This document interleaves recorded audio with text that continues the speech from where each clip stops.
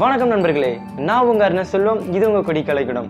So இன்னைக்கு பார்த்தீங்கன்னா நான் வந்து ஒரு ஃபேஸ் ட்ராயிங் தான் நான் வரைஞ்சிருக்கேன். ஒரு டிஃப்ரெண்டான ஃபேஸ் ட்ராயிங் ஸோ அதை தான் இந்த வீடியோவில் நீங்கள் பார்க்க போகிறீங்க இந்த வீடியோ ஸ்கிப் பண்ணாமல் கடைசி வரைக்கும் பாருங்கள் இந்த வீடியோ உங்களுக்கு பிடிக்கும் நினைக்கிறேன். உங்களுக்கு வந்து டிராயிங் சம்மந்தப்பட்ட எது டவுட் இருந்துச்சுன்னா கீழே வந்து டிஸ்கிரிப்ஷனில் வந்து என்னோட இன்ஸ்டாகிராம் ஐடி லிங்க் நான் வந்து கொடுத்துருக்கேன். அதில் வந்து கேளுங்க. நான் கட்டாயம் உங்களுக்கு நான் ரிப்ளை பண்ணுறேன் ஸோ வாங்க வீடியோக்குள்ளே போகலாம்.